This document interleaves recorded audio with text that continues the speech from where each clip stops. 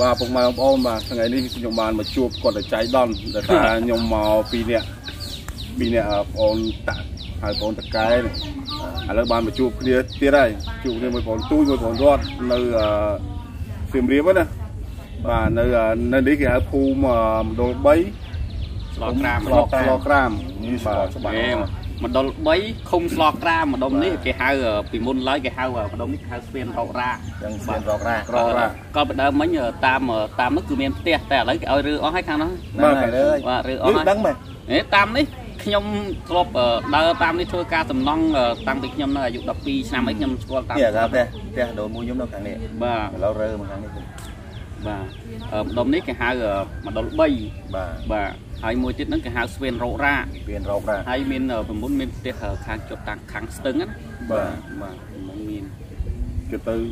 អូនទូចស្គាល់គ្រប់គ្រប់ខេត្តបាទព្រះវិហារសៀមមករាជិះបម៉ូតូមកហើយខ្ញុំវោះកម្លាំងមុនហ្នឹងហើយជិះម៉ូតូមកហើយខ្ញុំអត់ដែរស្គាល់ផងនេះលើកទីលើកទី2ដែលខ្ញុំមកនេះទី2ហើយជួបគ្នាចៃដនទៀតហើយអញ្ចឹងបន្តិចទៀតអេលើកទី2នេះលើកទី1មកហ្នឹងលើក ទីមក1មកមកលើកទី1មកទៅលើកទីមួយសៀមរាបលើកទីគាត់ចង់និយាយថាគាត់មកសៀមរាបនេះទឹកដីសៀមរាបលើកទី2ហើយតែមកប្រទេសបងប្អូនបងឯងលើកទី1មកហ្នឹងណាបើខ្ញុំដឹងលើកទីប្រមាណនេះព្រោះខ្ញុំស្រុកកណ្ដោតនៅនេះខ្ញុំជិះកង់ធ្វើការតាមនេះហ៎បាទធ្វើសំណងហ៎បាទបាទតែកាលណាយើងអត់អត់អឺពីមុនមកយើងអត់ស្គាល់គ្នាទៅយើងក៏ជិះកាត់មុខធ្វើមិនបើយើងអត់ស្គាល់គ្នាអយើងត់ស្គាល់2បាទអត់ស្គាល់យើងជិះកាត់មុខមិនស្គាល់ អឺសាចេអត់ស្គាល់អ៊ូខុងតែយូរហើយតាំងពីចាក់ចេញពីស្រុកតាំងពីអាយុ13ឆ្នាំ14ឆ្នាំអីចឹងណាយូរហើយបាទបាទតែកលក្នុងចន្លោះ2ឆ្នាំអាយុ12 13ហ្នឹងគឺយើងអាចជិះកង់ធ្វើសំណង់ធ្វើតាមនេះទៅស៊ីឈ្នួលគេណាបាទបាទប៉ុន្តែដល់ពេលទៅនៅអឺពេញយូរពេកទៅកន្លែងខ្លះទៅក៏រៀងភាំងភាំងដោយសារតែគេមានការ ធ្វើថ្មីណាកែលម្អថ្មីទៅរៀងប្លែកកន្លែងតាមវិញចង់ថាស៊ីមរៀបគេធ្វើថ្មីហើយស្វែងវែងហើយតែស៊ីមរៀបនៅតែស៊ីមរៀបដដែលទេអត់មានបាទគេដាក់ស៊ីមរៀបអីទេបាទគេធ្វើថ្មីស៊ីមរៀបផ្សារលើនៅផ្សារលើទឹកដីស៊ីមរៀបបង្គោលនៅទឹកតែដីហ្នឹងទីតាំងខ្លះគឺគឺជួបជុលបាទថ្មីតែបើទីកន្លែងគេធ្វើថ្មីធ្វើដូចជាថ្មីសហគីអូតែលដូចជាបារទំនើបហើយដូចទំនើបអីដូចអឺគាត់នេះគាត់ថានៅណានេះនៅណានេះអត់ស្គាល់សោះយកមិញ អត់ស្គាល់ណាទីឡានកាត់ហ្នឹងឡានយកមិញខរតាមផ្លូវតែមិនដឹងនៅណាឃើញថាអាចអាចខ្លាំងស្អាតខ្លាំងហ្មងសៀមរាបលេខ1តែតែណាសៀមរាបឡូវដូចជាដូចស្ងាត់ដូចដែរឡូវស្ងាត់មនុស្សដោយសារជាទេសចរអត់ទាន់បានបើកមកវិញអញ្ចឹងដូចស្ងាត់ទៀតមានមួយមួយអញ្ចឹងណាបងបាទពីមុនគឺឲ្យតែចាប់ដើមមុង 4ម៉ោង5ឬម៉ោងចាប់ពីម៉ោង2ល្ងាចទៅបងឲ្យស្ទះសារាចរហ្មងស្ទះពួកភ្ញៀវទេសចរច្រើនពេកមានបរទេសគ្រប់ប្រទេសដូចជាបារាំងកាណាដាអូស្ត្រាលីនិយាយចំគ្រប់ប្រទេសដែលគាត់អញ្ជើញមកលេងប្រាសាទអង្គរវត្តរបស់យើងហ្នឹងជុំវិញវងតូចវងធំ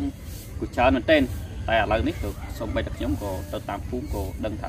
វារៀងស្ងាត់ដែរបាទបាទការប្រកាច់អឺ ការប្រកបកិច្ចការនេះកាប់កាច់ការប្រកាសកាប់កាច់ការប្រកបកិច្ចការរ៉ូស៊ីអ្នកភូមិហ្នឹងក៏គាត់រៀងរៀងស្ទះមួយចំនួនដែរដោយសារតែអឺគាត់អឺដូចថាអត់សូវមានភ្ញៀវទេសចរពីមុនដោយសារបញ្ហាចំនួនពេលថ្មីហ៎បាទតែឥឡូវរៀងនេះវិញបាត់ហើយប្រាប់តាឡើងវិញហើយអញ្ចឹងធម្មតាហើយនឹងនឹងមានឡើងវិញច្រើនហើយបាទហើយ បន្ទាប់ពីហ្នឹងយើងត្រូវមានកម្រងទៅណាទៀតបើយើងជួបគ្នាចៃដល់អត់ចេះឥឡូវហូបអីហ្នឹងបងហូបនៅអីនៅនៅណាឥឡូវចាំទៅហូបអីទាំងមួយគ្នាហ្មងបាទបងខ្ញុំអរគុណណាបងខំហៅមកមិនសូវអស់លុយខ្ញុំច្រើនពេកបាទអឺអញ្ចឹងអឺបន្ទាប់ពីហ្នឹងយើងទៅលេងអង្គមែនទេបាទហ្នឹងហើយយើងទៅលេងអង្គទាំងអស់គ្នាហើយអញ្ចឹងអន្ទួយគាត់ពាក់ឈុតស្វាឈុតស្ស្វាវាឯងពាក់អីឈុតយ៉ាឈុតជ្រូក ឈុតជ្រូកបាទហើយចឹងខ្ញុំឈុតអីមានកន្លែងណាគេជួលអត់កន្លែងគេជួលខ្វះស្អីអូលីមួយដីពុនគេហ្នឹងត្រូវគឺទៅការឲ្យឈុតស្វាមិនឈុតស្វាមិនបើប្រពន្ធខ្ញុំលេងអាឆែកដល់ជាអត់ទេគាត់ថាអូដៅអស់ដល់ពេលទិញអត់មើលដល់ពេលយកមកលាកឆែកដល់អញ្ចឹងមិនខោនឹងអញ្ចឹងអញ្ចឹងចាំចាំទិញថ្មីទៅឥឡូវអត់ទេអញ្ចឹងចាំតាមខ្ញុំ ខុសទេតាមនេះបាទពលសំខាន់យើងឲ្យមានជីចំតោជួលកង់ឥឡូវយើងយើងជួលកង់ម្នាក់មួយជីហ៎សំខាន់អឺជួលកង់ទៅមកតទៅជីម្នាក់មួយហ្នឹងហើយយើងធ្វើដំណើរវិញទៅយើងជិះជិះទៅមិនណាទៅតែមកជូនទៅកន្លែងជួលបងប្អូនទូចគាត់ជិះម៉ូតូមកតែពីរនាក់បងរត់នឹង3នាក់3នាក់បងបញ្ញាហើយយើងគាត់តាមកង់ម៉ូតូឯងយើងជិះកង់ទៅម៉ូតូឲ្យ3យើដើម្បី ហាត់ប្រាណបងឯងអាចជិះកង់មួយថ្ងៃបានអត់បានតែជិះឈប់ជិះឈប់ជើមានតែយើងជិះកង់វិញបរិវេណកោកោតូចកោធំអញ្ចឹងណាជួលកង់លេមួយថ្ងៃមកកង់ទៅថ្ងៃបាន tôi ដែរដឹងឬជួលកង់ខ្ញុំអត់ដែលដឹងណាអត់ដែលដឹងថាថ្ងៃមក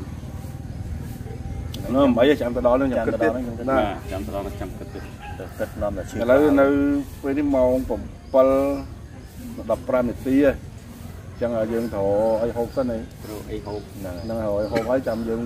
ពាក្យសាងនេះបន្តដំណើរទៅកំសាន្តនៅប្រាសាទកោវត្តរបស់គ្នាទៀតបាទបាទ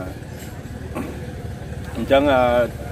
มันមានអឺអ្វីទេពុកម៉ែបងប្អូនដោយសារខ្ញុំបានមកដល់អឺខេត្តព្រះវិហារហើយខ្ញុំបានទៅជួបមកជួបបងប្អូនទូទៅចៃដន្យជាមួយបងប្អូនរតបាទអញ្ចឹងអឺពួកខ្ញុំបានជួបគ្នាឥឡូវចាប់ផ្ដើមអឺធ្វើដំណើរទៅរួមគ្នាទៀតហើយ បាទទេចៃដន្យនេះបងចៃដន្យថាកិច្ចការងារបងឯងហ្នឹងមកដើរកំសាន្តសៀមរាបចំអាខ្ញុំមកសៀមរាបដែរបានជួបគ្នាបាទជួបគ្នាល្អណាស់ហើយគាត់មានផ្ទះបងប្អូនចំនួនមួយនៅស៊ីសៀមរាបដែរបាទហើយខ្ញុំគូម្ដងខ្ញុំអត់ទេគូម្ដងខ្ញុំមកតែព្រឹមស្រុកស្វាយលឺទេស្រុកស្វាយលឺស្វាយលើនៅណាអឺ នោះក៏នគរជាតិព្រំបន្ទួលជាប់គ្នានឹងខេត្តព្រះវិហារបាទខេត្តព្រះវិហារនិងសៀមរាបហ្នឹងទឹកដីជាប់គ្នាបាទបាទហើយខ្ញុំមកព្រមមកជួភ្នំកលែនភ្នំកលែនអញ្ចឹងឥឡូវដីតបនំកលែនអត់ចុះបាទគឺទៅបងទៅសាងអឺយើងទៅដោយសារតែយើងព្រោះតបនំកលែនអត់ចុះទៅណាក៏ទៅទៅដល់ទៅបិណ្ឌបិណ្ឌអឺមិនមែនថាអញ្ចឹងងាយយើងឡើងទៅវិញយើងដេញយកទៀត អត់ទាន់ដឹងដែរអូដឹងណាបាទទៅដល់ភ្នំកលែនទៀតក៏មិនមែនដេកមួយយប់ក៏អត់គ្រាន់ទេបងអឺចង់ទៅវិញងាយក៏អត់ទាន់ដែរគាត់ថាជុំវិញបរិវេណអង្គរហ្នឹងគឺមួយថ្ងៃដើរមួយថ្ងៃក៏មិនដឹងមិនផងវាអត់អស់កន្លែងណាដោយសារតែនេះវាមានតំបន់ទេសចរច្រើនដល់ចឹងយើងចង់ដើរមើលគ្រប់ទីកន្លែងអត់អស់ណាបងបាទអត់បាទអត់អស់ទេអញ្ចឹងរួមតែធ្វើដំណើរចេញពីនេះទៀតទៅដល់ភ្នំកលែនទៀតអញ្ចឹងវាយូរអញ្ចឹងតើស្អែកមួយថ្ងៃទៀតខាំស្អែកបានបានទៅទៀតអីចឹងណាពេលល្ងាចហ៎អញ្ចឹងជប់ការលំបាកនេះជួបការលំបាកកូនទៅរៀនអត់អីទេចាំមើលសំតាមណួរតែតាមតាមទៀតហ្នឹងលេតែតាមថាទៀតខ្ញុំមករបៀបជាឆក់របៀបឆក់របៀបតែទៅប្រាប់វិហារហ្នឹងក៏ឆក់របៀបឆក់របៀបព្រោះយើងមានកិច្ចការងារសម្រាប់ធ្វើខ្ញុំថាឆ្ងល់ដូចបងឯងទៅណាដូចរៀនតែភ័យភ័យបន្ទាន់បន្ទាន់អញ្ចឹង វាចេះយើងមានអាភារកិច្ចកូនទៅរៀនទៅជូនទៅទៅទៅយកអញ្ចឹងណាបើយើងអត់នេះហើយបើយើងចង់អទៅត់ណាក៏បានដែរហើយចប្រង់ទៅពន្ធណាក៏បានប្រពន្ធខ្ញុំគាត់រវល់ដែររវល់កិច្ចការរបស់គាត់មករបស់របស់គាត់ហើយគាត់ឥឡូវទៅយកកូនគាត់បានឲ្យធ្វើកិច្ចការវាអញ្ចឹងណាមានតែហ្នឹងវាជាឧបសគ្គរបស់ខ្ញុំហើយប្រពន្ធខ្ញុំគាត់ចប់ហើយគាត់ធ្វើការដាក់ច្បាប់បាទបានអញ្ចឹងគិតទៅសារការងារទាំងអស់អត់តែប្រពន្ធខ្ញុំមួយដើរដុំដាច់ម៉ួយអស់លីង ដាច់ម៉ួយអស់ហើយម៉ួយដាច់ម៉ួយអស់លីងមុខឡើងវិញហើយហើយបើមុខឡើងខ្មៅជួញមុខហើយណាឡើងជួមបាទអូខាងនេះខាងកើតតែបាទខាងកើតខ្ញុំមើលតែថ្ងៃរះមកខាងណាគឺខាងនេះនេះខាងកើតហើយខាងជើងរៀងខាងកើតបាទអញ្ចឹងអឺខ្ញុំសូមបញ្ចប់នៅវីដេអូមួយនេះសិនពុកម៉ែបងប្អូនបាទហ្នឹងហើយចាំរីករាយបន្តទៀតនៅជុំវិញបរិវេណអង្គរទាំងអស់គ្នាថាមានសភាពស្រស់ស្អាតយ៉ាងណាព្រោះនៅនេះសភាពស្រស់ស្អាត ស្រស់ស្អាតណាស់ពុកម៉ែបងប្អូនបាទបាទហ្នឹងហើយអញ្ចឹងចាំបើមានកំហុសកឆ្គងក៏សូមខន្តីអភ័យទោសពីសំណាក់ពុកម៉ែបងប្អូនផងបាទអរគុណច្រើនជម្រាបលាពុកម៉ែបងប្អូនបាទ